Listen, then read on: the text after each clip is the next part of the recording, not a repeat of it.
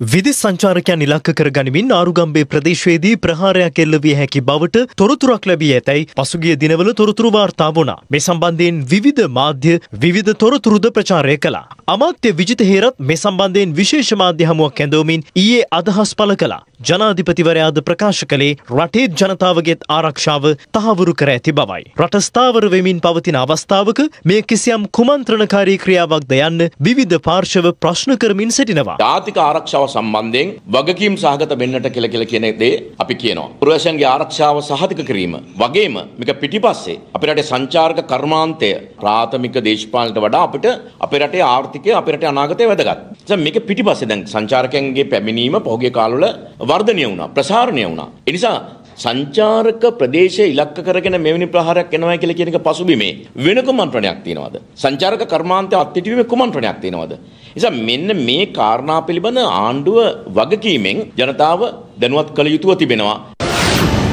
අපි බොහෝම වගකීමෙන් කියන්න කැමති ශ්‍රී ලංකාව ඊටාම සුරක්ෂිතතාවයට පත් වෙලා තියෙන අවස්ථාවක් මේක ආරක්ෂාව සම්බන්ධයෙන් සංචාරකයන්ගේ ආරක්ෂාව සම්බන්ධයෙන් හෝ රටේ පොදු මහජනතාවගේ ආරක්ෂාව සම්බන්ධයෙන් කිසිම ආකාරයක ගැටලුවක් පැන නැගිලා නැහැ. රට ඊටාම සුරක්ෂිතයි රටේ පුරවැසියාගේ ඒ වගේම රට ඇතුළට ආපු සංචාරකයාගේ ආරක්ෂාව සුරක්ෂිතයි. මේ 30 අවුරුදු යුද්ධය කාලෙත් අපේ රටේ හැමතැනම බෝම්බ පිපිරුණා. ඒවා අපේ අස්පනා අපිට දැක්කා. අපිට හැමතිස්සෙම ඇම්බියුලන්ස් අද්ද ඇහුණා. නමුත් සංචාරකයෝ දිගටම ආවා. අපේ ලාංකිකයාගෙන් ඉල්ලා සිටිනවා මේ ප්‍රවෘත්තිය ගෙනියන්න බලන්ඩ ඔබේ විදේශගත මිතුරන්ට විදේශගත අපේ රටට රට බලන්ඩ එන්න ඉන්න සංචාරකයන්ට අපි විශේෂයෙන් ඉල්ලා සිටිනවා ඊයේත් මම වැලිගම ප්‍රදේශයේ හිටියා ඇත්තටම කිසිම ප්‍රශ්නයක් නැහැ අපේ රට ඇතුලේ විදේශිකයෝ ඊටාම නිදහසේ ඔවුන් ගමන් බිමන් කරනවා කිසිම බීතියක් ඔවුන්ගේ ගෑවිලවත් නැහැ. රජයේ පැත්තෙන් සියලු පුරවැසියාගේ රට ඇතුලේ ඉන්න සියලුම දෙනාගේ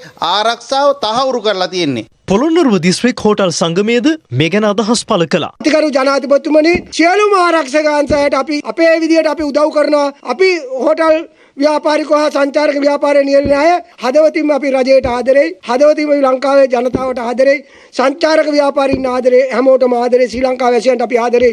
එහෙනම් අපි කවුරුවත් මේක අත්වල බැඳගෙන මේ ව්‍යසන වලින් අපි මේ රට බේර ගන්න ඕනේ කියලා මම මේ අවස්ථාවේ කියනවා. අතික ජනාධිපතිතුමා කියනවා ඒ ගැන තොරතුරු හොයලා බලලා කඩිනමින් මේ ගැන විසඳුමක් ලබා දෙන්න කියලා තමයි මම ඉල්ලන්නේ. අපේ සංචාරක ව්‍යාපාරයේ නෙළුම් කොල්ලේ කපන තැන ඉඳන් සපාරි කරත්ත ගොඩක් මේ වෙන අපිට කට්ටිය ඉන්නවා. ඒ අපි බලාපොරොත්තු වෙනවා ඉදිරි 2025 වසරේ මේ හොඳ සංචාරකයෝ ගෙන්නලා වෙලා හොඳ සේවාවක් අපි සපයන්න. ඒ ගැන අපි ජනාධිපතිතුමා නැවතත් කියන්නේ කවුද මේකට මේ පිටිපස්ස ඉන්න මහ මොලකරුවෝ හොයලා ඒ ගැන විසඳුමක් කඩිනමින් ලබා දෙන්න කියලා ඔබතුමාගෙන් අපි ඉල්ලා සිටිනවා. රටේ ලෝකෙ සිදුවන උණුසුම් පුවත් දැනගන්න සියත නිවස් YouTube channel එක අදම subscribe කරන්න.